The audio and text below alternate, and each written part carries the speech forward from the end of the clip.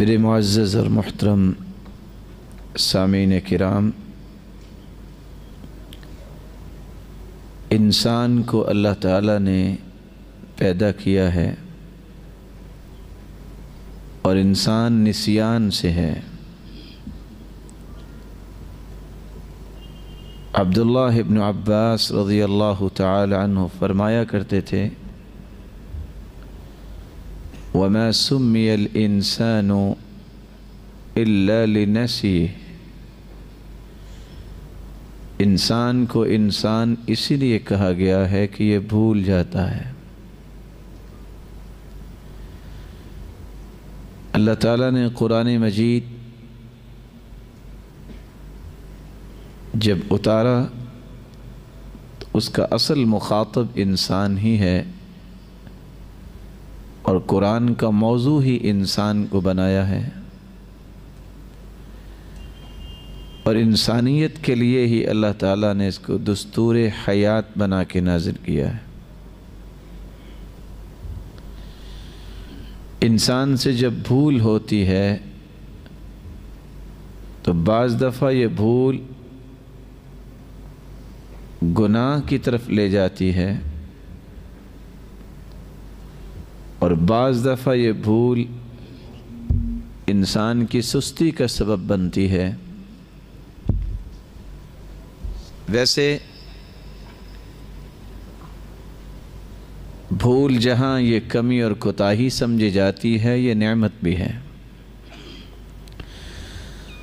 اگر انسان ماضی کے تلخ تجربات اور غموں کو نہ بھولے تو زندہ نہیں رہ سکتا۔ یہ نعمت بھی ہے۔ آج کی اس مبارک مجلس میں ہم تین باتوں کو پیش کرنا چاہیں گے۔ توبہ اور استغفار کیا ہے؟ دوسری بات، توبہ اور استغفار کی قبولیت کیسے ممکن ہے؟ اور تیسری بات توبہ اور استغفار کے دنیا اور آخرت میں فوائد و ثمرات کیا ہیں؟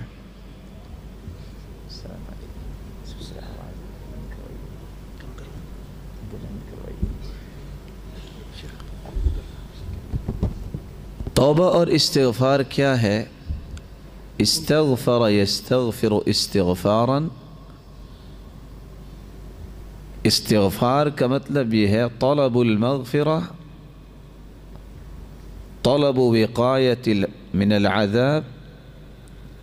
اللہ سے بخشش کو طلب کرنا اور عذاب سے بچنے کی گزارش کرنا. الباس ما يصونه عن الدنس. استغفار کا مطلب یہ ہے، اے اللہ میرے اوپر اپنی رحمت کی چادر ڈال دے۔ میرا ایمان جو گدلہ ہو چکا ہے، میرے گناہوں کو معاف کر کے اس ایمان کو پاک صاف کر دے۔ الغفر، ایسی چیز کو کہتے ہیں جس سے انسان کا سر بھی ڈھک جائے۔ جس سے انسان چھپ جائے۔ استغفار سے جہاں انسان بخشش طلب کرتا ہے، وہاں سابقہ غلطیوں کو چھپانے کی آرزو بھی کرتا ہے۔ جی۔ اور توبہ کا مطلب یہ ہے، تاب یتوب توبتا وتتویبتا ومتابا کسی چیز کو محسوس کرنا، شرمندہ ہونا، دوبارہ متوجہ ہونا اور بخش دینا۔ انسان جب اعتراف کرتا ہے کہ مجھ سے غلطی ہوئی، شرمندہ ہوتا ہے اور پھر اللہ کی طرف متوجہ ہوتا ہے، تو اللہ تعالیٰ دوبارہ اس پہ مہربانی فرما کے اس کو اپنا پیارا بنا لیتے ہیں۔ رسول اکرم صلی اللہ علیہ وسلم جس جیسی ذات اللہ تعالیٰ نے پیدا نہیں کی، جس ہستی کا کوئی گناہ نہیں تھا۔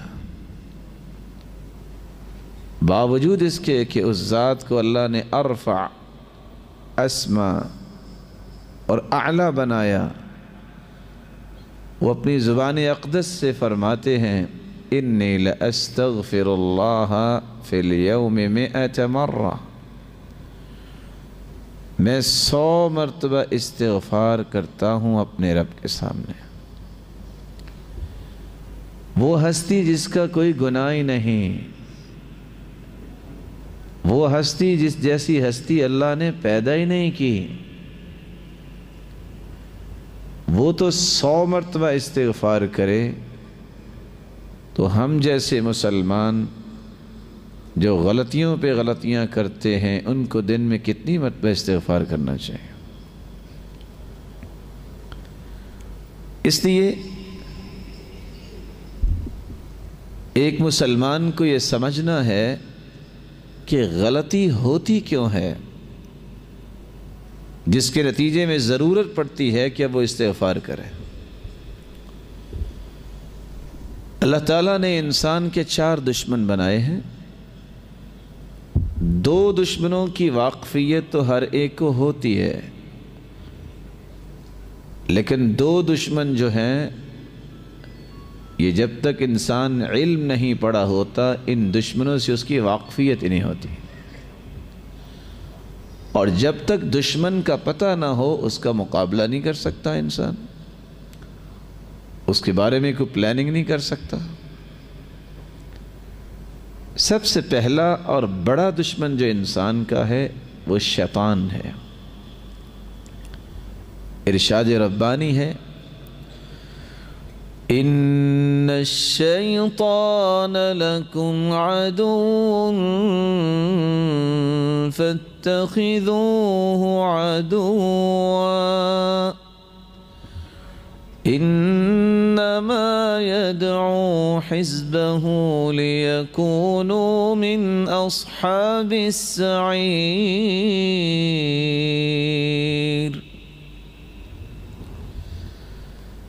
ان الشیطان لکم عدو، شیطان تمہارا دشمن ہے۔ فاتخذوه عدوا، اس کو دشمن ہی سمجھو۔ اس کی خواہش یہ ہے کہ اس نے تو جہنم میں جانا ہے، یہ اکیلا نہیں جانا چاہتا، یہ اپنے دوست بنا رہا ہے۔ کہ جلیں گے تو اکٹھے جلیں گے۔ سو میں سے اگر میں مبالغے سے کہہ دوں پچاس لوگ اس بات کو سمجھتے ہوں گے سو میں سے کہ شیطان دشمن ہے اور اس شیطان سے بچنے کے لیے اعوذ باللہ من الشیطان الرجیم، لا حول ولا قوت الا باللہ العلی العظیم۔ اور دیگر اذکار اپنی زبان پہ لاتے ہیں، آیت الکرسی پڑھتے ہیں شیطان سے بچنے کے لیے۔ اللہ کے رسول صلی اللہ علیہ وسلم نے جو طریقے بیان کیے۔ پچاس لوگ تو اس وقت میں مسلمانوں کی بات کر رہا ہوں، وہ ڈی ٹریک ہوتے ہیں تو شیطان کی وجہ سے اور شیطان کا شکنجا اور پنجا ان پہ مضبوط ہو جاتا۔ بقیہ جو پچاس لوگ ہیں، جنہوں نے شیطان سے بچنے کی تو کچھ پلاننگز کی ہیں، ان کے سامنے ایک اور دشمن آ جاتا ہے۔ وہ دشمن کیا ہے؟ وہ دنیا کی رنگینی کو حقیقی زندگی سمجھ لینا اور یہ تصور قائم کر لینا کہ دنیا میں رہنا ہے، موت تو آنی کوئی نہیں۔ حساب و کتاب کی تو باتیں صرف وہی لوگ کرتے ہیں جو دنیا میں کوئی کام نہیں کر سکے یا نہیں کر سکتے۔ دیکھا جائے گا جب حساب ہوگا۔ فلا تغرنكم الحياة الدنيا ولا يغرنكم بالله الغرور.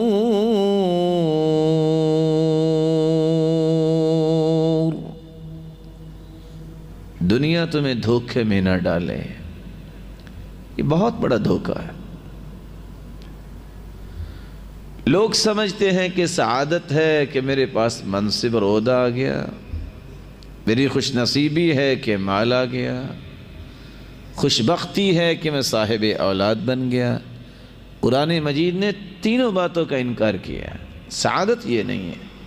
سعادت اور خوش بختی اور خوش نصیبی ہے اللہ کا مقرب بن جانا، اللہ کا تقرب حاصل کرنا۔ اللہ تعالیٰ کا محبوب بن جانا۔ قارون کو دیکھیے، فرعون کو دیکھیے۔ اتنی بڑی بادشاہی کا دعویٰ کرنے والا یہ فرعون کیا کہتا تھا؟ انا ربکم الاعلا میں تمہارا رب ہوں۔ وَهَذِهِ الْأَنْهَارُ تَجْرِي مِن تَحْتِي میرے گھر کے نیچے سے تو نہریں جاری ہیں۔ لیکن اللہ کی رحمت کے قریب نہیں ہوا۔ اللہ تعالیٰ نے پھر کیا کیا؟ وہی پانی ایک لمحے کے لیے غور کیجیے، وہی پانی جس میں چند ایام کا اور چند گھنٹوں کی زندگی موسیٰ کی تھی، تابوت میں بند کر کے ماں نے سمندر کے سپرد کر دیا۔ کس طرح اس بچے کو سانس آتا ہوگا؟ آکسیجن کے مسائل۔ بچہ، رضی بچہ۔ ابھی اس نے نئی نئی آنکھ کھولی ہے۔ کس طرح وہ تابوت چلا ہوگا؟ اللہ تعالیٰ حفاظت کرنے والے ہیں اپنے بندوں کی۔ کس طرح موسیٰ کو لٹایا واپس تو ماں تک پہنچایا۔ اسی پانی میں اللہ تعالیٰ نے فرعون کو غرق کر دیا۔ وہ بادشاہ ہے۔ وہی قمیض جب یوسف کے بھائی لے کے آئے، تو غم میں یعقوب علیہ السلام کی آنکھیں ان کی روشنی ضائع ہو گئی۔ رو رو کر۔ وہی قمیض جب دوبارہ آئی تو اللہ تعالیٰ نے دوبارہ آنکھیں دے دی۔ وہ تو بادشاہ ہے۔ قرآن مجید میں اللہ رب العزت فرماتے ہیں، جس کو تم خوش نصیبی سمجھتے ہو، دنیا کی رنگینی کو حقیقت سمجھ بیٹھتے ہو اور دھت ہو جاتے ہو اس کے نشے میں یہ منصب اور عہدہ اور حکومت مل جانا یہ سعادت نہیں۔ سعادت یہ ہے کہ تم اللہ کے قریب ہو جاؤ۔ جب فرعون ڈوب رہا تھا تو پھر بول کے کہتا ہے، آمنت انہو لا الہ الا الذی آمنت بھی بنو اسرائیل۔ اللہ نے فرمایا، اب نہیں۔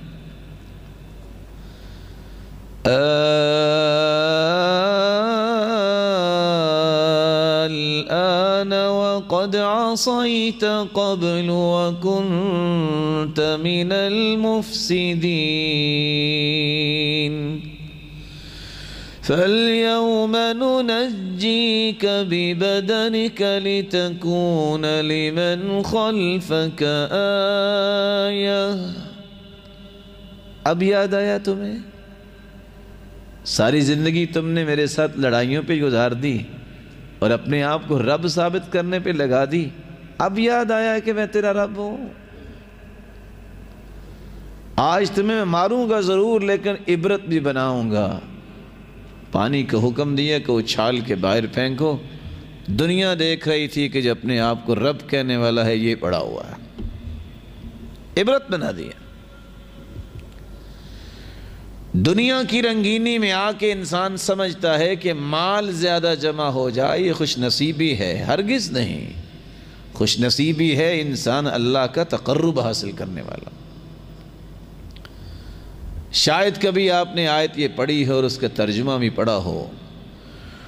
ان قارون كان من قوم موسى فبغى عليهم وآتيناه من الكنوز ما إن مفاتحه لتنوء بالعصبة قارون کو اللہ تعالیٰ نے خزانوں سے نوازا اور اتنے خزانے کے دس لوگ ایک جماعت صرف خزانوں کی چابیاں اٹھاتی تھی۔ اور میں کبھی سوچتا ہوں کہ آج کل متوسط آدمی بھی کو بیس تیس کلو وزن تو اٹھا ہی لیتا ہے۔ اور لوگ جو ہے وہ من من وزن بھی اٹھا لیتے ہیں۔ جس خزانوں کی چابیاں دس لوگ اٹھاتے ہوں گے وہ خزانہ کتنا ہوگا؟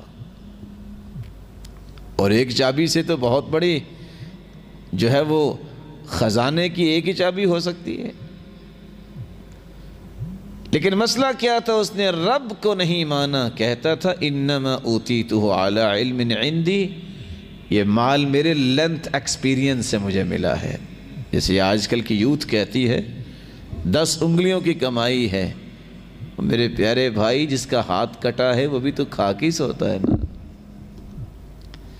یہ کہو، تیرے رب نے تجھے دیا ہے۔ اللہ تعالیٰ نے پھر اس کی طرف کوئی فوج نہیں بھیجی۔ اللہ تعالیٰ نے کیا کیا؟ زمین بھی اللہ کی مخلوق ہے، اللہ نے زمین کا حکم دیا، ایک دن کنگی کرتا ہے، صحیح بخاری کی روایت نکلتا ہے۔ مرجل جمت یختال فی مشیتی فی حلت تعجبو خلعت فاخرہ پہن کے نکلا ہے۔ اور کیسے نکلا ہے؟ دیکھ رہا ہے کہ کیا کمال کا لباس ہے میرا۔ اللہ تعالیٰ نے زمین کو حکم دیا، زمین نے پکڑ لیا، اب چیخ رہا ہے چلا رہا ہے اور دھنسنا شروع ہو گیا۔ اکیلا وہ نہیں۔ فَخَسَفْنَا بِهِ وَبِدَارِهِ الْأَرْضِ فما كان له من فئة ينصرونه من دون الله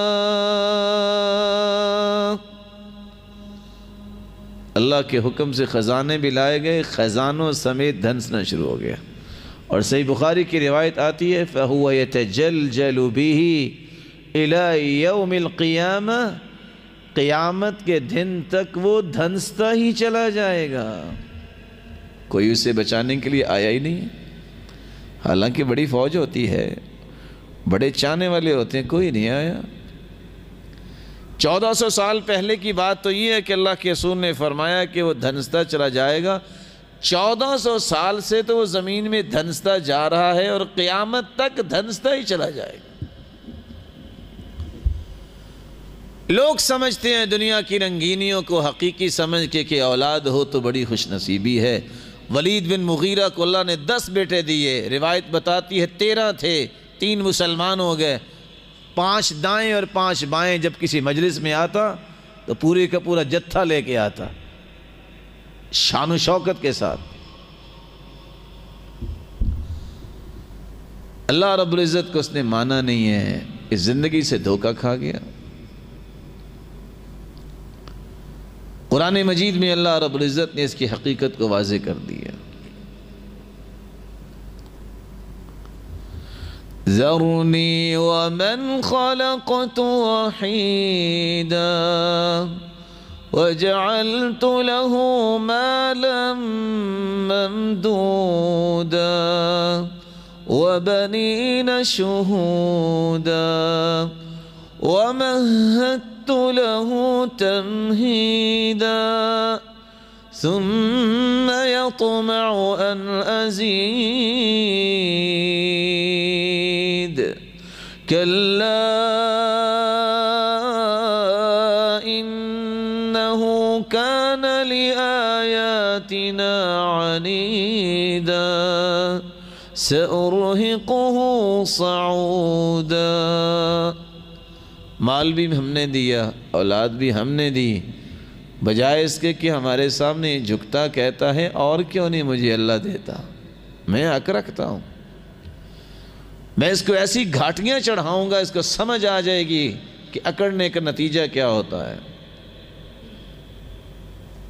سَأُصْلِهِ سَقَرْ وَمَا أَدْرَاكَ مَا سَقَرْ، لَا تُبْقِي وَلَا تَذَرْ۔ لواحة للبشر عليها تسعة عشر. میں جہنم میں اسے داخل کروں گا. ایسی جہنم اس میں نہ زندگی ہوگی نہ موت ہوگی جو انسان کی چمڑی کو ادھیڑ دینے والی ہے. اور انیس فرشتے اس پہ مقرر ہوں گے. جب انسان کی نظر دنیا کو حقیقت سمجھتی ہے تو پھر پتہ کیا ہوتا ہے؟ ابو جال کہتا تھا، قریشیوں مر گئے ہو، دس دس تم نوجوان ایک فرشتے کو سنبھال نہیں سکتے؟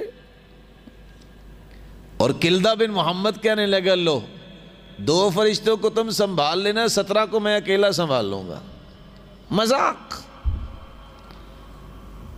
اللہ رب العزت کو جو نہیں مانتا، اس کی باتیں ایسی ہوتی ہیں۔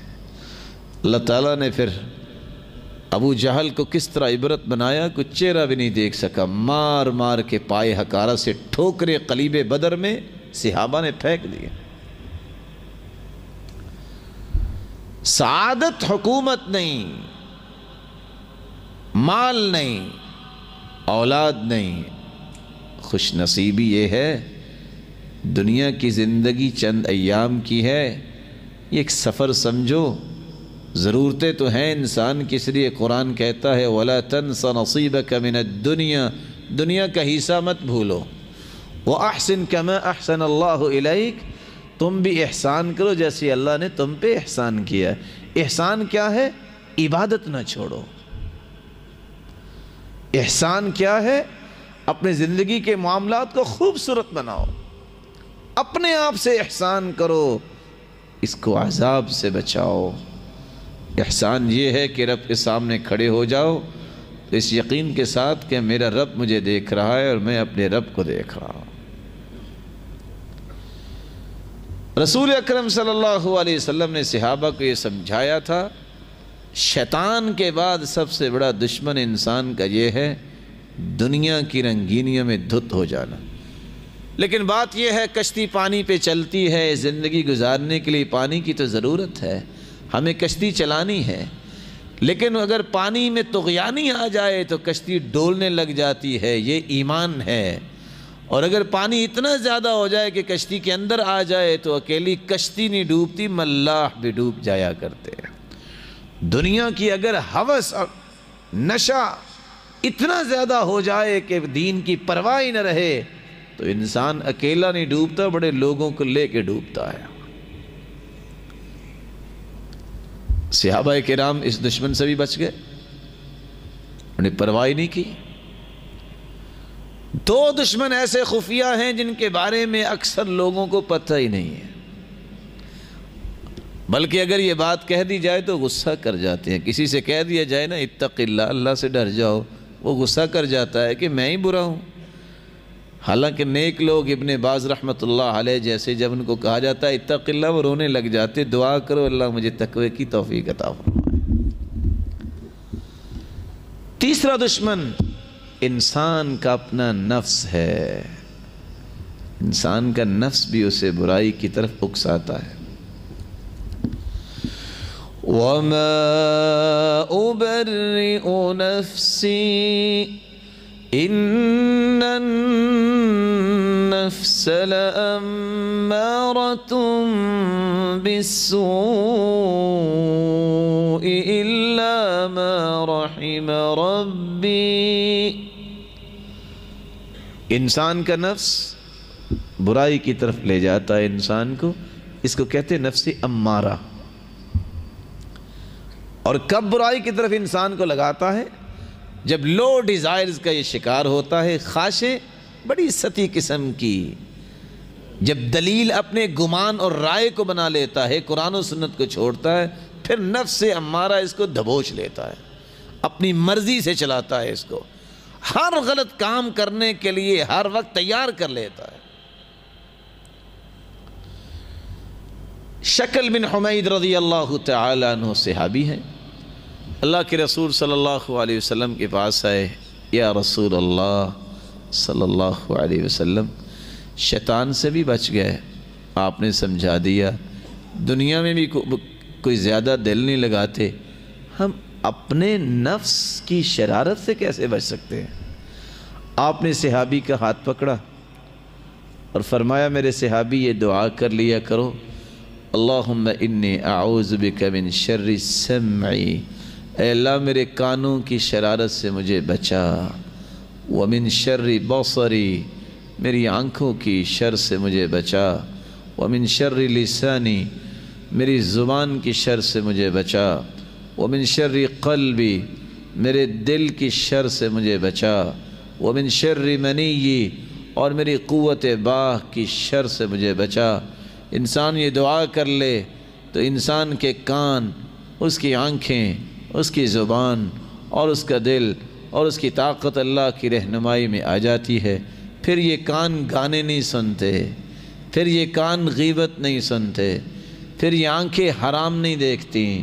آنکھیں دنیا کی ہیں، انہی آنکھوں سے حرام چیزیں دیکھی جاتی ہیں۔ پھر زبان غلط نہیں بولتی۔ پھر دل کے اندر ارادے اور نیتیں خوبصورت ہوتے ہیں۔ پھر ریاکاری نہیں آتی۔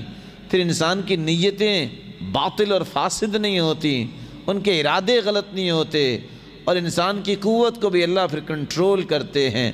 اس نے اللہ کی سرپرستی کو قبول کیا، رہنمائی کو قبول کیا۔ اللہ نے اس کو معیت خاصہ سے نواز دیا۔ معیت خاصہ کیا ہے؟ معیت عامہ یہ ہے کہ ہر شخص کے ساتھ اللہ کی قدرت اور علم ہے۔ وہ ذاتی ہی تو عرش پر مستوی ہے، لیکن ہر شخص کے ساتھ اللہ کا علم ہے، اس کی قدرت ہے۔ معیت خاصہ یہ ہے کہ اللہ کی نصرت، اللہ کی تائید، اللہ کی سرپرستی انسان کے کان اللہ کی رہنمائی میں پھر سنتے ہیں۔ انسان کی زبان اللہ کی رہنمائی میں حرکت کرتی ہے۔ انسان کی سوچوں کے دھارے اس کے تخیلات اور تصورات پھر اللہ کی رہنمائی میں بنتے ہیں۔ پھر یہ برائیوں سے بچ جاتا ہے۔ یہ دعا بھی صحابہ نے سیکھ لی اور بچ گئے۔ اور آج کتنے میرے پیارے بھائی ہیں جن کو یہ دعا یاد ہے، میں ادبن گزارش کروں گا کہ اس دعا کو یاد کیجیے اور اس دعا کو پڑھا کریں۔ چوتھا دشمن ایسا خطرناک دشمن ہے، اگر آپ اس کی تعبیر کرنا چاہیں کہ لا علاج مرض ہے، جس طرح کہتے ہیں کہ کینسر لا علاج مرض ہے، یہ علاج یہ مرض بھی لا علاج ہو گیا۔ شرط یہ ہے کہ توبہ کر لے تو اللہ تعالیٰ اس کی مغفرت فرما سکتے ہیں۔ وہ دشمن کون سا ہے جو اپنی خواہش کا غلام بن جائے، اس پہ دنیا کا کوئی علاج کاریگر نہیں ہوتا۔ سامنے بٹھا کے پورا قرآن سنا دو۔ سامنے بٹھا کے جملہ کتب حدیث اس کو سنا دو۔ کوئی اثر نہیں ہوگا قرآن مجید نے اس لیے کیا کہا أفرأيت من اتخذ إلهه هواه وأضله الله على علم وختم على سمعه وقلبه وجعل على بصره غشاوة. کیا خیال ہے اس شخص کے بارے میں جس نے اپنی خواہش کو معبود بنا لیا؟ اللہ تعالیٰ نے یہ فیصلہ دے دیا ہے وہ عد اللہ اللہ علی علم۔ جو اپنی خواہش کے پیچھے چلتا ہے، پوری دنیا کی ڈگریاں جمع کر لے، اللہ اسے پھر بھی گمراہ ہی رکھیں گے۔ یہی وجہ ہے کہ آج پی ایچ ڈی کرنے کے باوجود لوگ جھوٹ بولتے ہیں تو کیوں بولتے ہیں؟ خواہش کے غلام وہ گمراہ ہی ہیں۔ کیونکہ انہوں نے خواہش کو چھوڑا نہیں ہے۔ علم جو ہے، آپ کا کیا خیال ہے کہ اگر گدے کے اوپر پی ایچ ڈی کے تھیسز رکھ دے تو کہہ سکتے ہیں کہ سر، السلام علیکم، کہہ سکتے ہیں؟ وہ گدہ ہی ہے۔ عمل نہیں۔ اس علم کا فائدہ نہیں۔ وہ تو ایک نظریاتی چیزیں ہیں۔ اچھی باتیں تو کتابوں میں، کیا دیواروں پہ بھی لکھی ہوتی ہیں؟ اچھی باتیں وہ ہوتی ہیں جو انسان کے عمل سے نظر آئے۔ جب تک خواہش کی غلامی انسان نہیں چھوڑتا، گمراہی سے نکل ہی نہیں سکتا۔ اس لیے عربی زبان کا مقولہ ہے، من اتبع ہوا نہ لعدوہ منا۔ جو خواہش کا غلام بن جاتا ہے، دشمن اپنی ساری خواہشیں اس پہ پوری کر لیتا ہے اور سب سے بڑا دشمن انسان کا شیطان ہے۔ ان چار دشمنوں کے ہاتھوں انسان مجبور ہوتا ہے، پھر بھولتا ہے، گناہ کرتا ہے، غلطیاں کرتا ہے، لغزشیں ہوتی ہیں۔ اللہ تعالیٰ نے ساتھ موقع دے دیا کہ اگر کوئی اپنے گناہوں کی معافی چاہتا ہے تو توبہ کر لے۔ کیسی توبہ کرے؟ توبتا نصوحا۔ پکی توبہ کرے۔ کون سی پکی اور پختہ توبہ ہوتی ہے جو اللہ کے ہاں قبولیت پا لیتی ہے، جس کے اندر سات شرطیں ہوں؟ سب سے پہلی شرط، توبہ استغفار کرے تو اللہ کی رضا کے لیے۔ کتنے لوگوں کے ہاتھوں میں آپ نے دیکھا ہوگا، تسبیح پکڑی ہوئی ہے اور بات کر رہے ہیں۔ اور زبان سے کلمہ کو نکلتا ہی نہیں اور باتیں جاری ہیں۔ اس تسبیح اٹھانے کا کیا فائدہ ہوا؟ کتنے لوگ دعا اس لیے کر رہے ہیں؟ کہ لوگ دیکھیں کیا یہ دعا کرتا ہے، کیا اس کا تعلق ہے اللہ تعالیٰ سے؟ ان اللہ لا يقبل من العمل الا ما كان له خالصا وابتغي به وجهه۔ اللہ تعالیٰ اسی عمل کو قبول کرتے ہیں جو خالص اللہ کے لیے ہو، جو خالص اللہ کی رضا کے لیے ہو۔ اللہ کی خوشنودی مقصود ہو۔ دنیا کو دکھانے کے لیے توبہ نہ کرے، دنیا کو دکھانے کے لیے رو کے نہ دکھائے کہ یہ بہت روتا ہے، اللہ کو راضی کرنے اور اس کی خوشنودی حاصل کرنے کے لیے توبہ شروع کرے اور کیسے توبہ کرے؟ رسول اللہ صلی اللہ علیہ وسلم نے فرمایا، ابو بکر صدیق رضی اللہ تعالیٰ عنہ سے روایت ہے، جو گنہگار انسان ہے، وضو کر لے اچھا دو رکھتے پڑھ لے۔ اور ہاتھ اٹھا لے اور یہ کہہ دے، رب اغفر لی، رب اغفر لی۔ اللہ رب العزت فرماتے ہیں، عبدی اعمل ما شئت فقد غفر لک۔ میرے بندے، جو بھی تو نے گناہ کیے، جاؤ، میں نے تجھے معاف کیا۔ لیکن توبہ کرے اللہ کی رضا کے لیے۔ دوسری شرط، بدعت کو چھوڑے۔ جب تک بدعت کو چھوڑتا نہیں، کوئی توبہ قبول نہیں۔ ان اللہ احتجر التوبہ عن كل صاحب بدع حتی یدعا اللہ تعالیٰ نے دوسری روایت کے الفاظ ان اللہ احتجب التوبہ اللہ تعالیٰ نے ایسے شخص کے سامنے پردہ لٹکا دیا ہے کہ اس کو دیکھنا بھی مجھے پسند نہیں ہے۔ جو محمد مصطفیٰ کی شریعت کو ناقص سمجھتا ہے اور بدعات کو داخل کر کے مکمل کرنا چاہتا ہے، اللہ تعالیٰ اس کو دیکھنا ہی پسند نہیں کرتے۔ حتی یدعہا، جب تک یہ بدعت کو چھوڑے گا نہیں، اس کی توبہ قبول ہی نہیں۔ اس سے پتہ چلا کہ ساری زندگی سجدے کرتا رہے بدعتی اس کی توبہ قبول ہی نہیں۔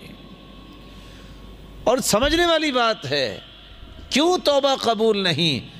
جو محمد مصطفیٰ کوئی کامل نہیں سمجھتا، اس کا ایمان کامل کیسے ہوگا؟ یہودیوں کو بھی یقین تھا کہ دین مکمل ہو گیا۔ عمر رضی اللہ تعالیٰ عنہ کے پاس یہودیوں کی جماعت آئی۔ صحیح بخاری کی روایت ہے۔ اور آ کے کہنے لگے آیت فی کتابکم، لو نزلت علینا معشر الیہود، لاتخذنا ذلك اليوم عیدا۔ مسلمانوں، تمہارے، تمہاری کتاب میں ایک ایسی آیت ہے، اگر یہودیوں پہ اترتی تو جس دن یہ اتری تھی، ہم اس دن کو عید کا دن مناتے، اتنی بڑی آیت ہے۔ عمر رضی اللہ تعالیٰ انہوں نے پوچھا، کون سی آیت؟ یہودیوں نے کہا، الیوم اکملت لکم دینکم و اتممت علیکم نعمتی۔ اللہ فرماتے ہیں کہ ہم نے دین کو مکمل کر دیا۔ اور اس نعمت کو مکمل کر دیا۔ یہودیوں کو بھی یقین تھا کہ دین مکمل ہو گیا ہے۔ جو دین کو پھر بھی ناقص سمجھتا ہے، کہتا ہے کہ یہ چیز بھی دین کا حصہ ہے اور اللہ کے رسول نے نہیں بتائی، نہیں سمجھائی، نہیں کسی حدیث میں آئی، نہیں قرآن میں اس کا کوئی اشارہ بھی۔ یہ شخص اللہ کے رسول صلی اللہ علیہ وسلم کی شخصیت کو کامل نہیں سمجھتا۔ اس کی توبہ قبول کیسے ہوگی؟ اور اس لیے عائشہ رضی اللہ تعالی عنہ فرمایا کرتی تھی، جو شخص یہ کہہ دے کہ اللہ کے رسول نے کچھ چھپایا ہے، امت سے سب کچھ نہیں بتایا، فہو من افر الفریہ، دنیا جہان کا سب سے بڑا جھوٹ ہے۔ شرط یہ ہے کہ بدت کو چھوڑا جائے۔ بن عامل عملا لیس علیہ امرنا فہو رد، ای مردود۔ کوئی بھی انسان عمل کرتا ہے، جتنا مرضی بڑا کام ہو، اگر وہ سنت کے مطابق نہیں تو مردود ہے، قابل قبول نہیں تیسری شرط، الاقلاع عن الذنب، گناہ کو چھوڑے۔ یہ کوئی توبہ نہیں ہے کہ انسان ہاتھ بھی اٹھائے ہوئے ہیں، یا اللہ۔ میں توبہ کرتا ہوں، میں نماز پڑھا کروں گا، نماز پھر بھی نہیں پڑھتا۔ یہ توبہ نہیں ہے۔ اس لیے فضائل ابن عیاد رحمت اللہ علیہ کہا کرتے تھے، الاستغفار بلا اقلاع عن الذنب توبة الكذابین جو بندہ گناہ نہیں چھوڑتا، توبہ کرتا ہے، یہ جھوٹے لوگوں کی توبہ ہے۔ اور اس لیے سلف کہا کرتے تھے، استغفارنا يحتاج الى استغفار الذي يصادف قلبا. ہم استغفر اللہ استغفر اللہ بھی کہتے ہیں، ہمارا استغفار بھی کسی استغفار کا محتاج ہے کہ جو ہم بول رہے ہیں، اس کا دل پہ بھی تو کچھ اثر ہو، دل پہ اثر ہوگا تو گناہ کو چھوڑیں گے۔ گناہ چھوڑ دے۔ رسول اللہ صلی اللہ علیہ وسلم نے فرمایا، فَإِنْ هُوَ نَزَعَ وَاسْتَغْفَرَ وَتَابَ سُقِلَ قَلْبُ اگر بندہ گناہ چھوڑ دے، توبہ کر لے، استغفار کر لے، تو اللہ تعالیٰ اسے معاف کر دیتے ہیں۔ چوتھی شرط یہ ہے کہ انسان اللہ کے سامنے اقرار کرے، اعتراف کرے، اللہ مجھ سے گناہ ہو گیا، میرے مالک مجھ سے بھول ہو گئی اللہ مجھ سے غلطی ہو گئی ان العبد اذا اعترف ثم تاب تاب اللہ علیہ بندہ جب اعتراف کرتا ہے اللہ کے سامنے، تو اللہ تعالیٰ اسے معاف کر دیتے ہیں۔ کتنی شرطیں ہو گئی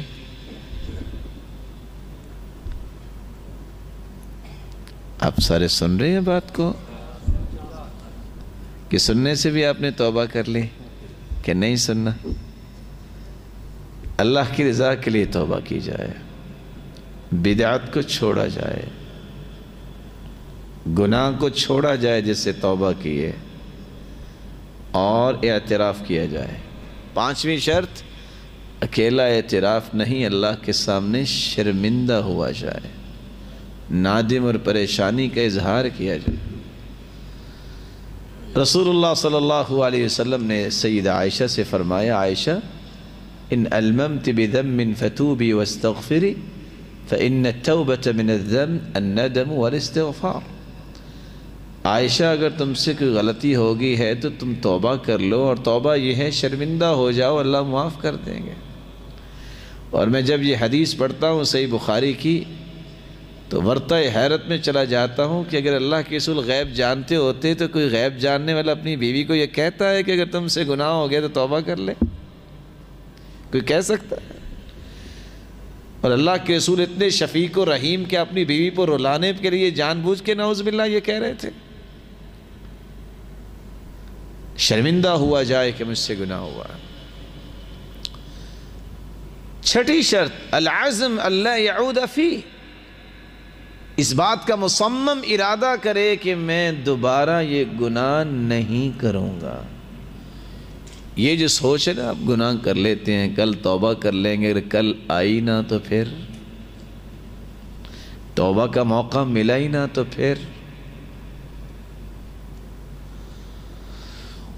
والذين إذا فعلوا فاحشة أو ظلموا أنفسهم ذكروا الله.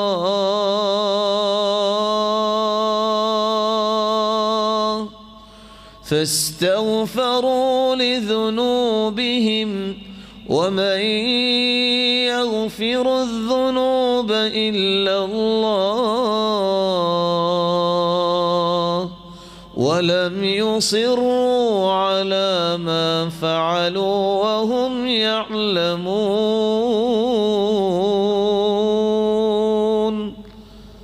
والذین اذا فعلوا فاحشہ، جن سے کوئی گناہ ہو جاتا ہے، او ظلموا انفسہم، یہ اپنی جان پہ ظلم کر بیٹھتے ہیں۔ ذکر اللہ، پہلا کام کیا کرتے ہیں؟ اللہ کو یاد کرتے ہیں۔ اللہ ہم سے غلطی ہو گئی فاستغفروا لذنوبہم، اپنے گناہوں کی بخشش طلب کرتے ہیں۔ وَمَنْ يَغْفِرُ الذُّنُوبَ إِلَّا اللَّهِ اور اللہ کے سوا کوئی بخشنے والا نہیں ہے۔ وَلَمْ يُسِرُّوا اصرار نہیں کرتے، اقرار کرتے ہیں۔ دوبارہ نہیں کرتے، عزم کرتے ہیں کہ اب دوبارہ گناہ نہیں ہوگا۔ ساتویں شرط، قیامت سے پہلے پہلے موت کی سختیاں شروع ہونے سے پہلے پہلے توبہ ہو۔ اذا عین الملک، جب فرشتہ نظر آ جائے، والتفت الساق بالساق، پنڈلی پہ پنڈلی چڑھ جائے۔ وَإِذَا بَلَغَتِ الْحُلْقُومِ اور روح نکل کے ہنسلی تک آ جائے۔ پھر توبہ قبول نہیں ہوتی۔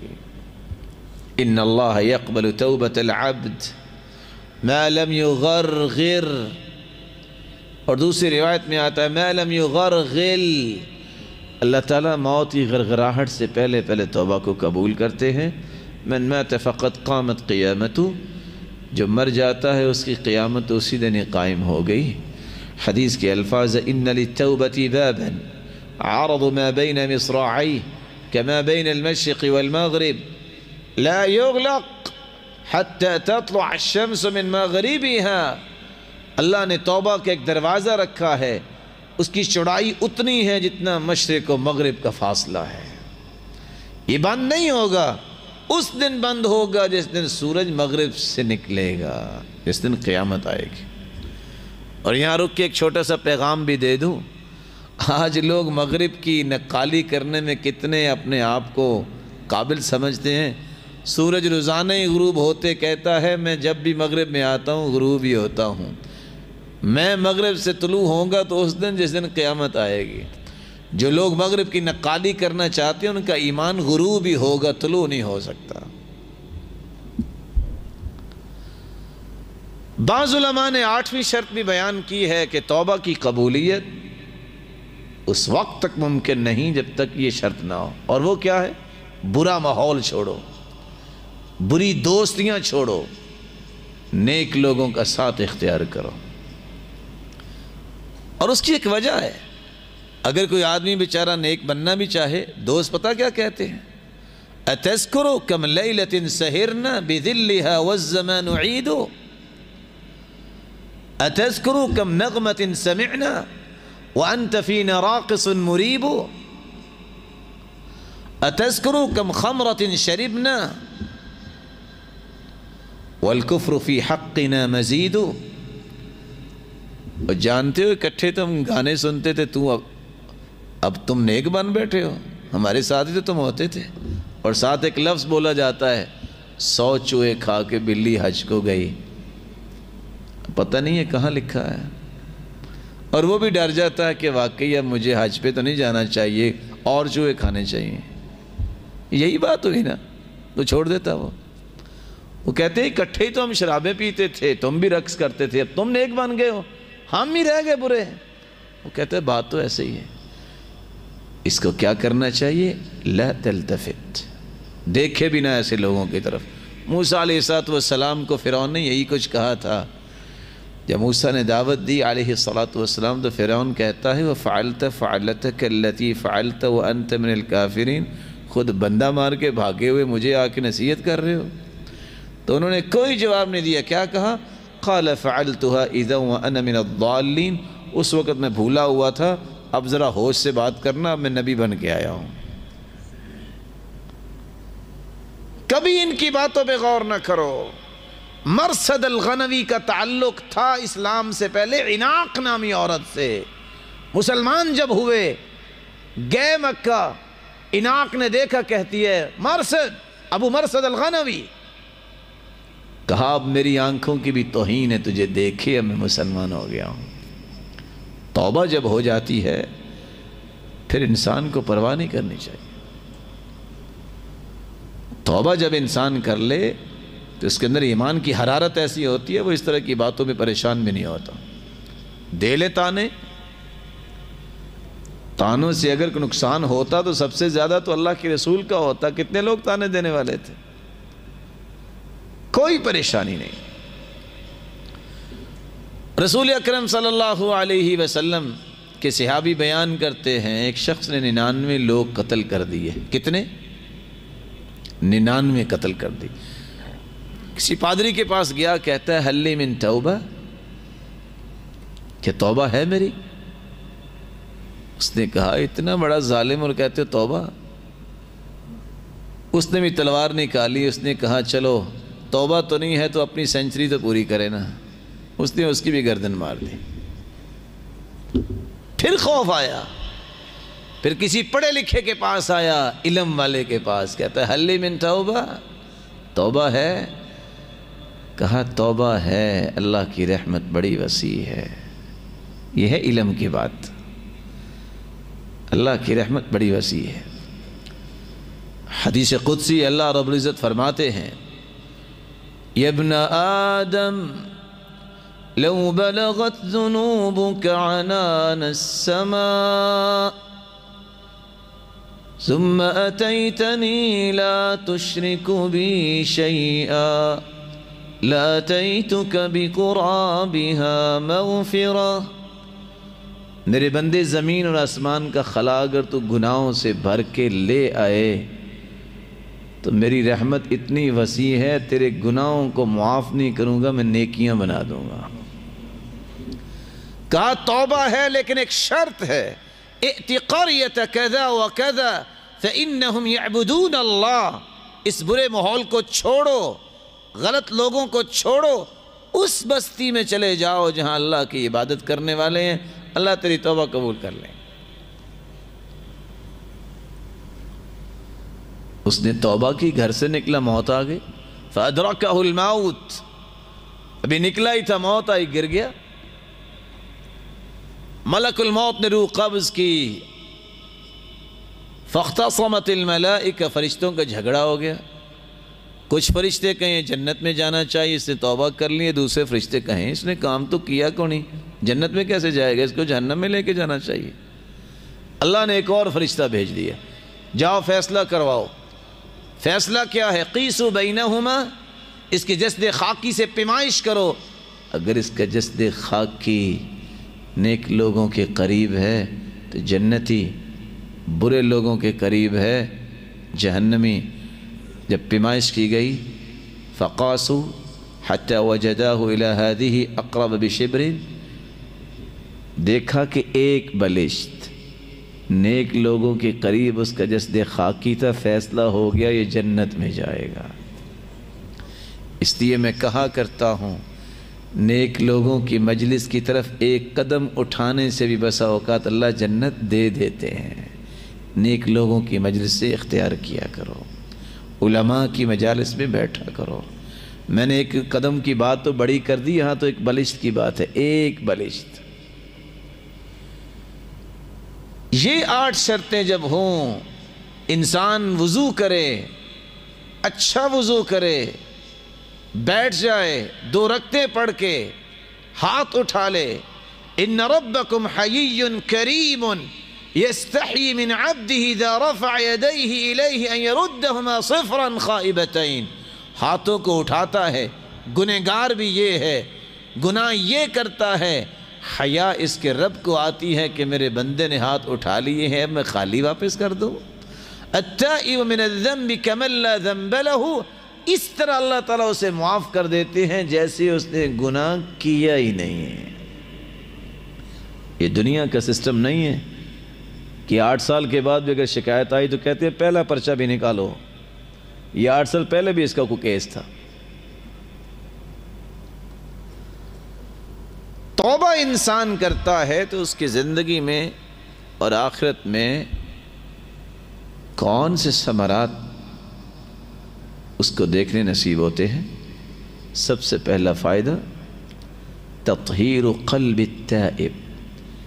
جب انسان گناہ کرتا ہے تو ایک نکتہ لگ جاتا ہے۔ جب کرتا جاتا ہے تو پورا دل سیاہ ہو جاتا ہے۔ لیکن اگر توبہ کر لے، تو اللہ تعالیٰ اس کے دل کو دوبارہ پاک صاف کر دیتے ہیں۔ اور میں تو اس حدیث کو جب پڑھتا ہوں، سناتا ہوں، تو سوچ میں پڑ جاتا ہوں، میرے رب کی اتنی رحمت، ان صاحب الشمال۔ ليرفع القلم ست ساعات عن العبد المسلم المخطي، فإن هو نزع واستغفر وتاب سقل قلبه. وہ فرشتہ جو گناہ لکھنے پہ معمور ہے، اللہ تعالیٰ نے اس کو حکم دیا ہوا ہے کہ چھ گھڑیوں تک، اور آج کل سا گھنٹے کو بھی کہتے ہیں، چھ گھڑیوں اور گھنٹوں تک وہ گناہ لکھنا نہیں ہے۔ اگر اس کے اندر اندر اس نے گناہ سے توبہ کر لی تو لکھے بغیر ہی میں معاف کرتا ہوں۔ اتنی بڑی رحمت ہے۔ شیطان کہنے لگا وعزتک یا رب، لا ازال اغوی عبادک ما دامت ارواحهم فی اجسادهم مجھے تیرے، تیری عزت کی قسم، اے رب، جب تک تیرے بندے زندہ رہیں گے، میں ان کو گمراہ کرتا رہوں گا۔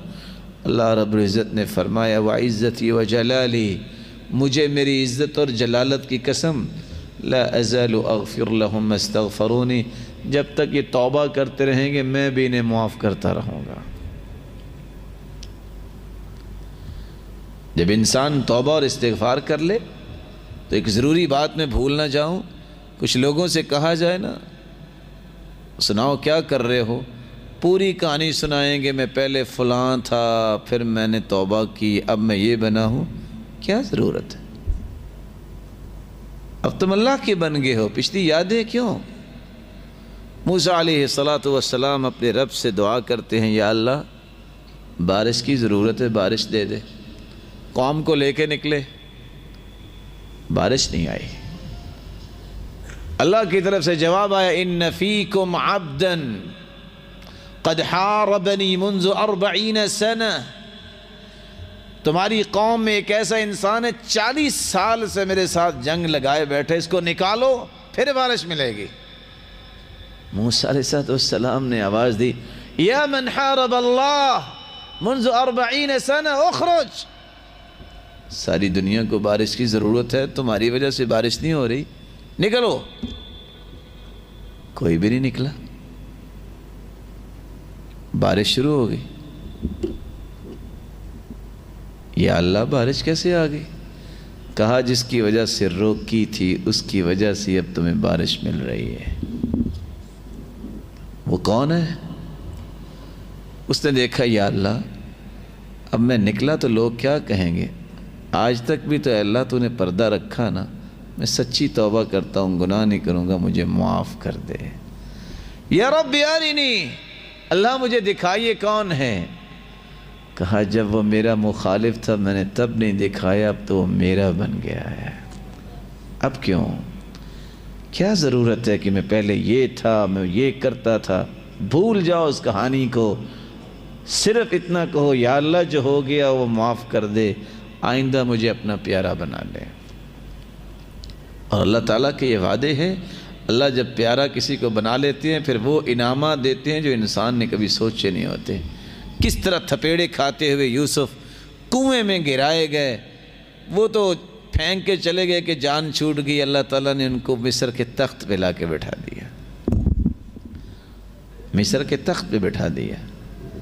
پیاس بھی تو اللہ کی طرف سے لگی نا جب وہ پانی پینے آئے۔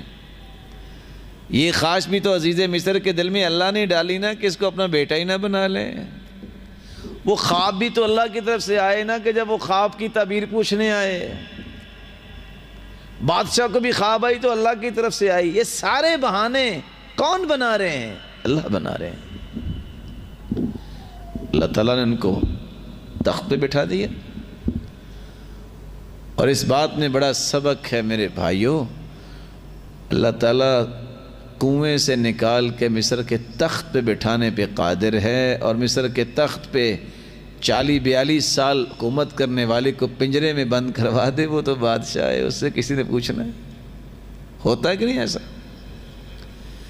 دوسرا فائدہ، جب انسان توبہ کر لیتا ہے، جہاں اس کا دل پاک صاف ہوتا ہے، وہ اس طرح ہو جاتا ہے جیسے اس نے گناہ نہیں کیا۔ اللہ تعالیٰ اس کے مال و دولت میں فراوانی پیدا کر دیتے ہیں۔ اللہ تعالیٰ اسے باغات کا مالک بنا دیتے ہیں، اسے اولاد سے نوازتے ہیں۔ قرآن مجید میں اللہ رب العزت فرماتے ہیں، حکایت کرتے ہوئے، فَقُلْتُ اسْتَغْفِرُوا رَبَّكُمْ إِنَّهُ كَانَ غَفَّارًا۔ يُرْسِلِ السَّمَاءَ عَلَيْكُمْ مِدْرَارًا وَيُمْدِدْكُمْ بِأَمْوَالٍ وبنين ويجعل لكم جنات لكم أنهارا. ما لكم لا ترجون لله وقارا. وقد خلقكم أطوارا. تم استغفار کر لو اللہ تعالیٰ تمہیں معاف کر دیں یرسل السماء علیکم مدرارا. اللہ تعالیٰ تمہیں موسلا دھار بارشوں سے نوازیں وَيُمْدِدْكُمْ بِأَمْوَالِ، تمہیں مال و دولت میں فراوانی دے دیں گے۔ وَبَنِينَ، اور اولاد سے نوازیں گے۔ وَيَجْعَلْ لَكُمْ جَنَّاتٍ، آج تم مارکیٹ میں جاتے ہو۔ بڑے سے بڑا بھی مالدار سارے پھل تو نہیں لے کے آتا۔ بس اوقات واپس آ جاتا ہے، بہت مہنگائی ہے۔ وَيَجْعَلْ لَكُمْ جَنَّاتٍ تم استغفار کرو، اللہ تمہیں باغات کا مالک بنا دے گا۔ وَيَجْعَلْ لَكُمْ أَنْهَارًا، تمہیں تمہارے لیے نہروں کا بندوبست فرما دے گا۔ وَيُمْدِدْكُمْ بِأَمْوَالِ۔ استغفار کرنے سے مال میں فراوانی آتی ہے۔ امام احمد بن حمر رحمت اللہ علیہ گھر سے نکلے۔ مسجد پہنچے۔ مسجد والے سے کہتے ہیں، کچھ وقت گزارنے کا موقع دیجیے۔ کہتا نہیں نہیں، ہمارا نظام نہیں ہے۔ انتظامیہ جی کیا کہہ سکتے ہیں؟ حالانکہ المسجد بیت کل مسلم، مسجد تو ہر مسلمان کا گھر ہے۔ اس میں رکاوٹیں کیوں؟ خیر، انہوں نے کہا کہ کچھ دیر یہاں مجھے گزارنے کا موقع دے دیجیے باہر ہی۔ کہا، نہیں نہیں. وہاں سے ایک نان بھائی گزر رہا تھا، اس نے کہا کہ یہ قسمت قسمت کی بات ہے، اس کو میرا مہمان بننے دو۔ امام احمد بن حنبل کو گھر لے گئے۔ اس کو چار پئی پہ اس ہستی کو لٹایا اور خود آٹا گوندنے کے لیے کیا کرتے ہیں؟ استغفر اللہ استغفر اللہ ساتھ آٹا گوند رہا ہے اور ساتھ استغفر اللہ کہہ رہا ہے۔ اور یہ امام اہل سنت والجماعہ کہتے ہیں آپ کو استغفار نے فائدہ بھی دیا۔ کہتے ہیں بہت غریب تھا، جب سے استغفار کر رہا ہوں، اللہ نے وارے نیارے کر دیے۔ اور جب سے استغفار کر رہا ہوں، ہر خواہش اللہ نے پوری کی۔ صرف ایک خواہش ابھی پوری نہیں ہوئی۔ ہاں وہ کون سی خواہش ہے؟ کہا، چند دنوں سے میں کہہ رہا ہوں، یا اللہ سنا امام احمد بن حنبل بڑا نیک انسان ہے، میری اس سے ملاقات ہی کروا دے۔ تو مسکرا کے کہتے ہیں، وہ تو میں ہی ہوں۔ وقد جریر تو الہی کا جرا۔ آج میں گھر سے نکلا، مجھے اب سمجھ آئی ہے کہ فرشتہ تیرے ساتھ ملاقات کروانے کے لیے مجھے لے کے آیا ہے۔ یمددکم باموال وفی القصص عبر۔ اتفاق سے اسی طرح کی گفتگو۔ کچھ سال پہلے کراچی میں ہوئی۔ تو تین سال پہلے جب کراچی جانا ہوا دوبارہ، درس کے لیے مسجد میں داخل ہونے لگے۔ تو اچانک سے آیا، کہتے ہیں، السلام علیکم، دو منٹ مجھے چاہیے۔ اب کراچی کا ماحول بھی آپ کو پتہ ہے۔ وہ ساتھی بھی پریشان ہو گیا نہ جانے کیا مسئلہ ہے۔ کہتا، نہیں، صرف دو منٹ۔ تو اب یہ اخلاقی ایک تقاضا بھی ہے۔ میں نے کہا جی فرمائیے۔ کہتا جی یہ گاڑی دیکھ رہے ہیں جی۔ میں نے کہا جی دیکھ رہا ہوں، کہتے ہیں میرے استغفار کی گاڑی۔ کیا مطلب استغفار کی گاڑی؟ کہتا جی غریب آدمی تھا، کاروبار کو تھا نہیں، بڑی مشکل سے پچیس ہزار جمع کیا کہ میں نے گاڑی خریدنی ہے۔ ایک ساتھی کے ساتھ مل کے گاڑی لی، گاڑی تو کیا لینے تھی، پچیس ہزار سے بھی ہاتھ دھو بیٹھا۔ میرے پاس حال ہی کو نہیں تھا۔ میں نے کہا بس پھر اگر دنیا میں یہی کچھ ہے تو میں پھر اپنے رب سے ہی تعلق جوڑتا ہوں۔ مسجد میں بیٹھ گیا میں نے استغفار کرنا شروع کر دیا۔ اتنا استغفار کیا، میں مسجد سے باہر نکلا، کچھ ایام کے بعد ایک شخص کہتا ہے، او تم کہاں تھے؟ میں تو تمہیں ڈھونڈ رہا تھا۔ مجھے اس نے اپنی گاڑی پہ ساتھ بٹھایا اور جا کے ایک نئی گاڑی خریدی اور میرے نام کروائی۔ کہتا اب جب تیرے پاس پیسے ہوں گے تو دے دینا۔ اب اس کے بعد نہ مجھے اس کا پتہ ہے کہ بندہ کون ہے، نہ میں اس کو پہچانتا ہوں، نہ میرا واقف تھا۔ میرے نام گاڑی ہے۔ سال ہو گیا چلا رہا ہوں، اللہ تعالیٰ روزی دے رہا ہے۔ اور امام ابن تیمیہ رحمت اللہ علیہ بھی کہا کرتے تھے، انہو لیقف خاطری فی المسئلہ التي تشکل علی۔ میری زندگی میں ایسا بھی ہوتا کہ جب کوئی مسئلہ مشکل ہو جاتا فَاسْتَغْفِرُ اللَّهَ أَلْفَ مَرَّةِ تو میں ہزار مرتبہ استغفار کرتا ہوں حتیٰ کہ اللہ تعالیٰ مجھے شرع صدر فرماتے اور میرا مسئلہ حل فرما دیتے. اس سے اللہ تعالیٰ مال میں بھی فراوانی دیتے ہیں، اولاد سے بھی نوازتے ہیں اور باغات کا مالک بھی بناتے ہیں۔ اور اگر کسی نے خوبصورت زندگی بنانی ہو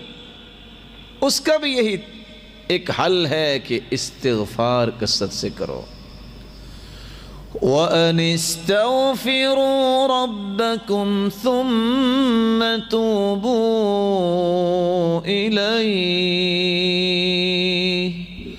يُمَتِّعْكُمْ مَتَاعًا حَسَنًا إِلَىٰ أَجَلٍ مُسَمَّى.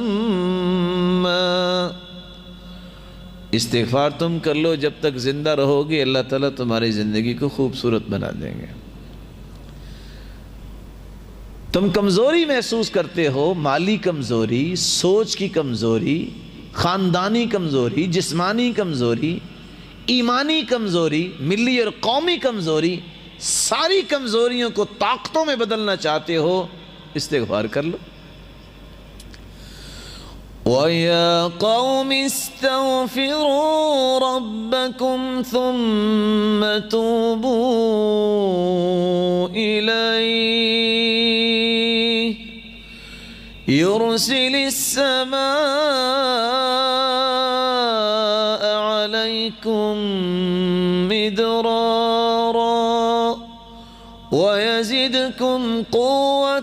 إِلَىٰ قُوَّتِكُمْ وَلَا تَتَوَلَّوْا مُجْرِمِينَ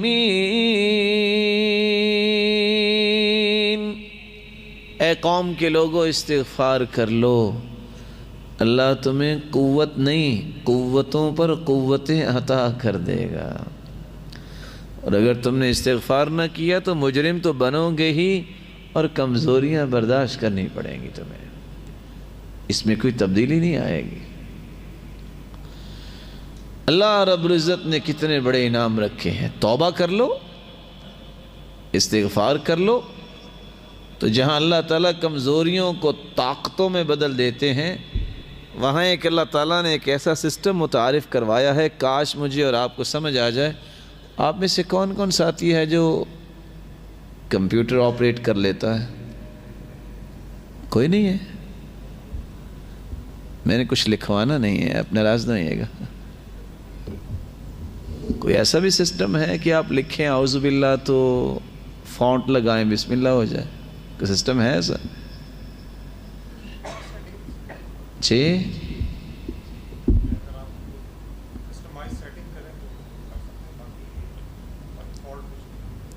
فونٹ نہیں ایسا۔ خط تو چینج ہو جاتا ہے یہ خط نستعلیق ہے، یہ خط رقہ ہے، یہ خط دیوانی ہے۔ ساری عقل تو اللہ تعالیٰ نے دی ہے نا۔ بندہ چھلانگے مارتا ہے کہ میں فائیو پینٹیم تک پہنچ گیا ہوں۔ عقل کس نے دی ہے؟ اللہ تعالیٰ۔ اللہ تعالیٰ نے ایک سسٹم قرآن مجید میں بیان کیا ہے جو کسی کے پاس نہیں اور ہو بھی نہیں سکتا۔ وہ کیا ہے؟ إلا من تاب وآمن وعمل عملا صالحا فأولئك يبدل الله سيئاتهم حسنات وكان الله رحيما جو سچی توبہ کر لے، عمل صالح نیک عمل کرنا شروع کر دے۔ اب کسی کی عمر اگر ساٹھ سال، اسی سال ہوگی ہے، تو اس نے آخر جو گناہ کی فرشتوں نے لکھے ہی ہوں گے نا۔ رجسٹروں کا ذکر بھی حدیث میں آتا ہے کہ ننانوے رجسٹر ہوں گے۔ لکھتے وقت وقت بھی لگا ہے۔ اب اگر اس کو معاف کرنا ہے تو اس کو مٹانے کے لیے بھی تو ساٹھ سال لگیں گے نا۔ کیا خیال ہے؟ اللہ فرماتے نہیں۔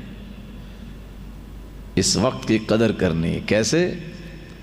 ایسی فونٹ لگاؤ، یہ اسی سال کے گناہوں کو معاف نہیں کرنا، ان کو نیکیوں میں کنورٹ کر دو۔ وہ گناہ بھی نیکیاں بن جاتے ہیں، لیکن شرط یہ ہے کہ سچی توبہ ہو۔ توبہ اور استغفار جب انسان کرتا ہے پھر اللہ رب العزت سے کامیابی سے نوازتے ہیں، دنیا میں بھی اور آخرت میں بھی۔ اور سب سے بڑی کامیابی یہ ہے کہ اس کو جنت کا وارث بنا دیتے ہیں۔ فَأَمَّا مَن تَابَ وَآمَنَ وَعَمِلَ صَالِحًا فَعَسَىٰ أَن يَكُونَ مِنَ الْمُفْلِحِينَ. جو توبہ کر لے استغفار کر لے وہ دنیا میں بھی کامیابی ہوگا وہ آخرت میں بھی کامیاب ہوگا۔ فَأُولَئِكَ يَدْخُلُونَ الْجَنَّةِ وَلَا يُظْلَمُونَ شَيْئًا. کیسی کامیابی؟ ان لوگوں کو اللہ جنت الفردوس میں داخل فرمائیں گے اور ان پہ کوئی ظلم نہیں ہوگا۔ رسول اللہ صلی اللہ علیہ وسلم نے عورتوں سے کہا تھا، یا معشر النساء تصدقنا واکثرن من الاستغفار۔ عورتوں کثرت سے استغفار کیا کرو اور صدقہ دیا کرو۔ فإنی رأیتکن اکثر اہل النار۔ میں نے دیکھا کہ جہنم میں اکثر عورتیں جائیں گی۔ ساری عورتیں چپ ہیں۔ ایک عورت بڑی پڑھی لکھی تھی۔ ام یعقوب۔ خطیبہ عورت تھی۔ اس نے کہا، اللہ کے رسول، ما لنا اکثر اہل النار۔ مرد کیوں نہیں جائیں گے؟ جہنم میں ہم ہی کیوں جائیں گی؟ عورتیں کیوں جائیں گی؟ اللہ کے رسول صلی اللہ علیہ وسلم نے فرمایا دو باتیں۔ تکسرن اللعن و تکفرن العشیر۔ تم لان تان زیادہ کرتی ہو اور خامدوں کی نشکری زیادہ کرتی ہو۔ یہ دونوں کام چھوڑ دو تو اللہ محفوظ فرمائیں گے۔ کیسی لان تان؟ آپ نے دیکھا ہوگا اپنے اپنے ملک میں۔ پہلے یہ دیہاتوں میں بیماری تھی، اب شہروں میں بھی آ گئی۔ صبح صبح اٹھتے ہیں، عورتیں، ناشتہ کیا نہیں ہوتا۔ سر پہ بھی دوپٹہ نہیں ہوتا۔ پڑوسن سے کوئی بات ہو گئی، لڑائی شروع۔ وہ کہتی ہے، تم فلاں، وہ کہتی ہے، تم فلاں، لڑائی شروع۔ دس بج جاتے ہیں جب کھایا بھی کچھ نہیں ہوتا، سر بھی جواب دے دیتا ہے۔ تو آخر وہ دیہاتی انداز میں اپنا کپڑا بچھا کے کہتی ہے اچھا پھر تینوں میرا صبر ہی پہ ہے۔ اور میں سوچتا ہوں کہ اگر اس نے کچھ کھایا پیا ہو تو یہ خطبہ تو زور تک چلنا تھا۔ کیونکہ دھوپ اوپر سے آ جاتی ہے نا، برداشت نہیں ہوتا اتنا کھڑا رہنا۔ کثرت سے لان تان جہنم کا باعث۔ وہ تکفرن العشیر خامدوں کی نے شکری کیسے؟ ساری زندگی یس باس کرتا رہے بیچارہ۔ اور ہر بات مانتا رہے۔ جس دن اس کے خلاف مرضی کی کوئی بات ہوگی تو صحیح بخاری کی روایت کیا ہے؟ میں رأیت منک خیرا قط تیتھوں پوری زندگی سخ پایا ہی نہیں۔ یہ کلمات ہیں شکری کے۔ ان اللہ لا ينظر الى امرأة لا تشکر لزوجیها وهي لا تستغنی عن۔ اللہ تعالیٰ ایسی نشکری عورت کی طرف دیکھنا بھی پسند نہیں کرتے، جو خامن کی شکر گزاری نہیں کرتی، حالانکہ اس سے مستغنی بھی نہیں۔ رسول اللہ صلی اللہ علیہ وسلم نے یہ باتیں مسلمانوں کو اس لیے سمجھائیں کہ وہ اللہ تعالیٰ سے انعامات کے مستحق بن جائیں۔ آئیے آخری بات کر کے میں بات کو ختم کرتا ہوں۔ مجھے احساس ہے کہ آپ کافی دیر سے بیٹھے ہوئے ہیں۔ اللہ تعالیٰ آپ کا یہ بیٹھنا قبول فرمائے اور اللہ رب العزت ہمیں اس طرح جنت میں جمع فرمایا استغفار کیسے کریں؟ استغفر اللہ۔ رسول اللہ صلی اللہ علیہ وسلم جب نماز پڑھ کے فارغ ہوتے تو کان اذا سلم استغفر ثلاثا تو تین مرتبہ استغفر اللہ کہا کرتے استغفر اللہ ربی من کل ذنب و اتوب الی من قال استغفر اللہ ربی من کل ذنب و اتوب الیہ ثلاثا غفر له ذنوب و ان کان فارا من الزحم جو تین مرتبہ یہ کہہ دیتا ہے استغفر اللہ ربی من کل ذنب واتوب الیہ خواہ وہ جنگ سے بھاگا ہو، میدان جہاد سے بھاگا ہو، اللہ پھر بھی اسے معاف کر دیتے ہیں۔ حالانکہ جنگ سے بھاگنا یہ کبیرہ گناہ ہے، اللہ کا غضب لے کے انسان لوٹتا ہے۔ وَإِن كَانَ فَارَّ مِنَ الزَّحْفِ، وہ جنگ سے بھاگو، اللہ پھر بھی معاف کر دیتے ہیں۔ استغفر اللہ الذي لا الہ الا هو الحی القیوم واتوب الیہ۔ رب اغفر وتب علی انك انت التواب الرحیم اور اگر کسی کو سید الاستغفار یاد ہو جائے تو کمال ہو جائے۔ اللہ کے رسول فرماتے ہیں، سید الاستغفار صبح پڑھ لے۔ اگر شام تک اسے موت آئے، دخل الجنہ، وہ جنت میں جائے گا۔ کوئی رات کو پڑھ لے، صبح سے پہلے پہلے موت آ جائے، وہ جنت میں جائے گا۔ اور وہ کون سا ہے سید الاستغفار؟ کس کو یاد ہے میرے بھائی کو؟ اللہم انت ربی لا الہ الا انت خلقتنی وأنا عبدک وأنا على عهدك ووعدك ما استطعت. أعوذ بك من شر ما صنعت أبوء لك بنعمتك علي وأبوء بذنبي فاغفر لي فإنه لا يغفر الذنوب إلا أنت. صبح کے وقت جو پڑھ لے، یقین کر کے شام تک اگر موت آ جائی، دخل الجنہ، یہ جنت میں جائے گا۔ جو شام کو پڑھ لے، صبح تک اسے موت آ جائے، دخل الجنہ، اللہ اسے جنت میں داخل فرمائیں گے۔ استغفار کا وقت کون سا ہے؟ سب سے بہترین وقت كانوا قليلا من الليل ما يهجعون. وبالأسحار هم يستغفرون.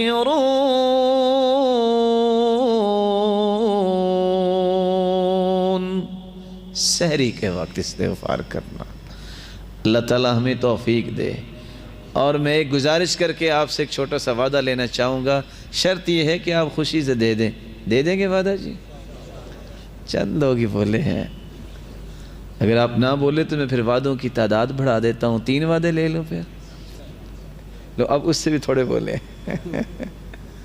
وعدے کو مشکل نہیں ہے۔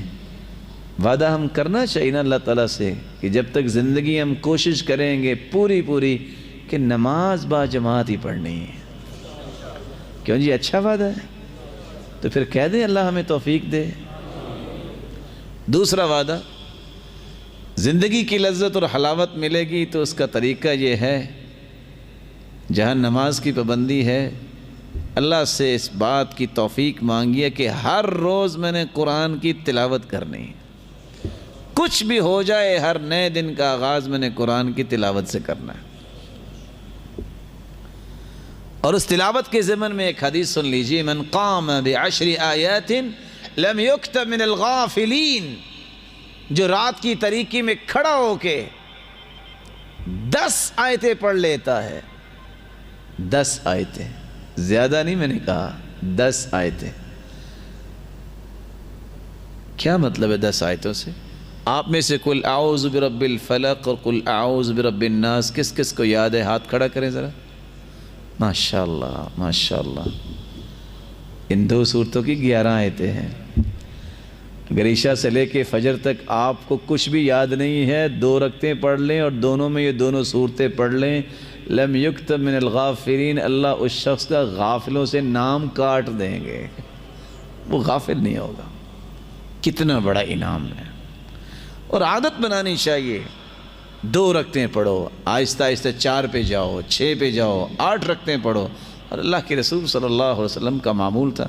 اور اللہ کی قسم، یہ لذتیں اور حلاوتیں جو پڑھتا ہے، اس کو ہی پتہ ہے کہ کیسی ہوتی ہیں۔ اور آپ کی ضرورت بھی ہے، اکیلے لذت نہیں ہے۔ ضرورت کیا ہے؟ ہر بندہ چاہتا ہے کہ میرا آفس دنیا میں ٹاپ کا آفس ہو، میرا ڈیرا چلے اور میری بات کی کوئی کاٹ نہ کرے۔ اور میرا دل مضبوط ہو میرے جیسا کوئی بہادر نہ ہو یہ دونوں انعام اللہ تعالیٰ نے تحجد میں رکھے ہیں۔ إن ناشئة الليل هي أشد وطئا وأقوم قيلا۔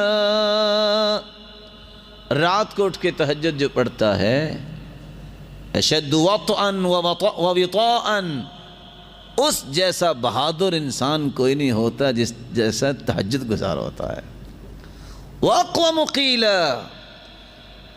اس کی بات بڑی زبردست ہوتی ہے، اس کی بات کی کوئی کاٹ نہیں کرتا۔ اور کہنے والے تو کہتے ہیں، اگر کوئی تحجد گزار جس کا عقیدہ درست ہے، اللہ والا ہے، اگر اس کے خلاف سوچ کے بھی جاؤ، زبان حرکت ہی نہیں کرتی کہ میں نے اس کے خلاف بولوں کیسے؟ یہ رعب اللہ عطا کر دیتے ہیں، یہ حیبت اللہ تعالیٰ عطا کر دیتے ہیں۔ اللہ مجھے اور آپ کو توفیق سے نوازے۔ چلتے پھرتے کہا کرو استغفر اللہ اللہ اکبر۔ لا الہ الا اللہ۔ لا حول ولا قوة الا باللہ۔ حسبی اللہ ونعم الوکیل۔ یا حی یا قیوم برحمتک استغیث۔ اور میں کیوں کہہ رہا ہوں؟ یاد رکھنا جو زبان پہ کثرت سے بات آتی ہے، مرتے وقت بھی وہی زبان پہ آتا ہے۔ وفی القصص عبر، قصوں میں بڑی عبرتیں ہوتی ہیں۔ اتفاق سے ریاض شہر میں ٹیکسی ڈرائیور تھا۔ ٹیکسی چلا رہے اور کیا کہہ رہے اللہم صلی علی محمد وعلا علی محمد۔ بڑی خوشی کی بات ہے، ٹیکسی چلانے والا بھی درود پڑھے۔ کتنا سعادت مند ہے، کتنا خوش نصیب ہے۔ بھائی، اب درود کیوں پڑھتے ہیں؟ کہا بھائی کراچی میں رہتا تھا۔ میں کراچی کا رہنے والا ہوں۔ تو میرا ایک بھائی ہوتا تھا، وہ فوت ہو گیا۔ ہے اچھا انہ للہ راجر کیسے فوت ہوا؟ کہا وہ لوڈنگ کا کام کرتا تھا۔ وہ ٹرک پہ سامان رکھتے ہیں نا، تو ایک چین بن جاتی ہے، وہ کہتا ہے، ایک، دو، تین، وہ بوری آگے چلتی جاتی۔ کہتے اچانک سے ایک بوری میرے بھائی کے اوپر گری اور وہ فوت ہو گیا۔ جب وہ آخری سانسوں میں تھا تو اس کے ہونٹ حرکت کر رہے تھے۔ تو میں نے جلدی سے کان ساتھ لگایا کہ کیا کہنا چاہتا ہے۔ وہ کیا کہہ رہا تھا؟ ایک دو ایک دو۔ مجھے سمجھ آ گئی کہ موت کے وقت وہی چیز انسان کی زبان پہ جاری ہوتی ہے جو ہمیشہ بولتا ہے۔ میں نے اس دن کے بعد درود پڑھنا شروع کر دیا ہے کہ موت اگر آئے تو میری زبان پہ درود جاری ہو۔ اور یاد رکھنا جس چیز کی محبت انسان کے دل میں ہوتی ہے، اللہ تعالیٰ اس محبت کے اظہار موت کے وقت کرواتے ہیں۔ امام ابو ذرا راضی رحمۃ اللہ علیہ، کتنے بڑے محدث، سات لاکھ حدیثوں کے حافظ۔ کسی نے پوچھا، آپ نے حدیث پڑھنے کے لیے کتنا سفر کیا؟ آج ہم تو سیڑھیاں سن کے کہتے ہیں نا، علامہ بن گئے۔ یوٹیوب پہ بیٹھ کے اور ادھر ادھر کی باتیں سن کے کہے کہ مولوی بن گئے ہم۔ اور اینکرز جن کو نماز کا ترجمہ نہیں آتا، ان کی باتیں سن کے کہتے ہیں، بس میں بھی بہت بڑا عالم بن گیا۔ کچھ چار دن دائیں بائیں گھوم گھما کے کہتے ہیں کہ اب یہ بھی گفتگو کر سکتا ہے۔ دین کے بارے میں اس کو بھی فتویٰ دینا آ گیا ہے۔ دین اس کو کہتے ہیں جس نے تلقی اور مشافہ کیا ہے، استاد کے سامنے بیٹھ کے پڑھا ہے۔ پوچھا، کتنا سفر کیا؟ کہا، تیس ہزار میل میں نے پیدل سفر کیا ہے۔ پوچھنے والے نے پوچھا، بس مسکرا کے کہتی ہیں سم ترقت العد، پھر اس کے بعد میں نے گننا چھوڑ دیا۔ سات لاکھ حدیثوں کا حافظ۔ جب آخری سانسوں میں پہنچے، ابو حاتم الرازی، وہ بھی محدث۔ منظر بن شاہزان وہ بھی محدث۔ ابن وارع، وہ بھی محدث۔ تینوں محدث پاس ہیں۔ کہنے لگے، اب اس کی آخری سانس ہیں تو حدیث کہتی ہے لقن و موتا کم بلا الہ الا اللہ۔ جو قریب المرگ ہو، اس کو کلمے کی تلقین کرنی چاہیے، وہ کلمہ پڑھے، کیونکہ من کان آخر کلام لا الہ الا اللہ دخل الجنہ، جس کی زبان پہ کلمہ جاری ہو جائے، جب موت آتی ہے، وہ جنت میں جائے گا۔ اب تینوں سوچ رہے ہیں، اتنے بڑے محدث کو کیسے ہم کہیں؟ ہمت نہیں بن رہی؟ تینوں نے مشورہ کیا کہ ایسا کرتے ہیں کہ جس حدیث میں یہ لفظ ہے نا، من کان آخر کلام لا الہ الا اللہ دخل الجنہ۔ یہ حدیث اس محدث کے سامنے پڑھتے ہیں، ان کو یاد آ جائے گا۔ ایک نے شروع کیا۔ حدثنا بندار۔ قال حدثنا عبد الحميد بن جعفر۔ عن صالح۔ عن صالح۔ جان بوجھ کے رک گئے کہ آج آگے مجھے سند نہیں آتی۔ دوسرا کہتا، رکو، میں پڑھتا ہوں۔ حدثنا بندار۔ قال حدثنا عبد الحميد بن جعفر عن صالح بن ابي عن صالح بن ابي وہ بھی رک گئے۔ انہوں نے ایک لفظ کا اضافہ کیا۔ محسوس کروایا کہ سند نہیں آتی۔ امام ابو ذرا راضی رحمۃ اللہ علیہ نے آنکھیں کھولی۔ کہتے اجلی سونی، مجھے بٹھاؤ۔ اجلی سونی، مجھے بٹھاؤ۔ ان کو بٹھایا۔ کہتے رکو، میں تمہیں سند پڑھ کے سناتا ہوں۔ حدثنا أبو عاصم قال حدثنا بندار عن عبد الحميد بن جعفر عن صالح بن أبي عريب عن كثير بن مرة الحضرمي عن معاذ بن جبل رضي الله عنه قال قال النبي صلى الله عليه وسلم من كان آخر كلامه لا إله إلا الله آسمان کی طرف نظر اٹھائی، مسکرائے، دخل الجنہ کے لفظ نہیں کہے، اللہ کے پاس چلے گئے۔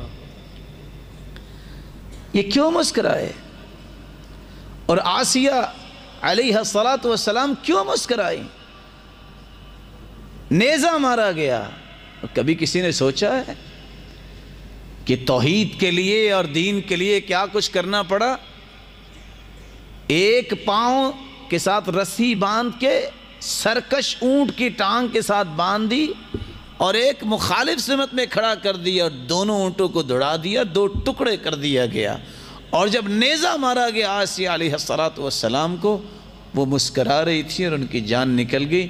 ابن کثیر لکھتے ہیں، کیونکہ اس نے دعا کی تھی۔ رب ابن لی عندك بیتا فی الجنہ ونجني من فرعون وعمله ونجني من القوم الظالمين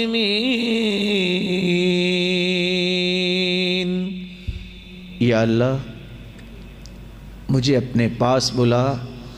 جنت میں گھر نہیں مانگا، رب ابن لی عندک بیتن اپنے پاس مجھے گھر دے۔ مجھے فرعون کے ظلم سے بھی بچا، ظالموں کے ظلم سے بھی بچا۔ اللہ نے ظلموں سے بھی بچا دیا۔ ابن کثیر لکھتے ہیں، اللہ نے وہ جنت میں گھر دکھایا۔ اس کو دیکھ کے مسکرائی اور اسی حالت میں اللہ نے روح قبض کروا دی۔ دخل الجنہ۔ ابو ذرا راضی رحمۃ اللہ علیہ نے دخل الجنہ نہیں کہا، مسکرائے کیوں؟ اللہ نے ان کو جنت دکھائی ہوگی جس کے بعد اس کی جان قبض کر لی، بولنے کی ضرورت نہیں رہی۔ بات آئی ابو ذرا راضی کی تو ایک بات کہہ دوں۔ مورخین لکھتے ہیں کہ جب فوت ہو گئے،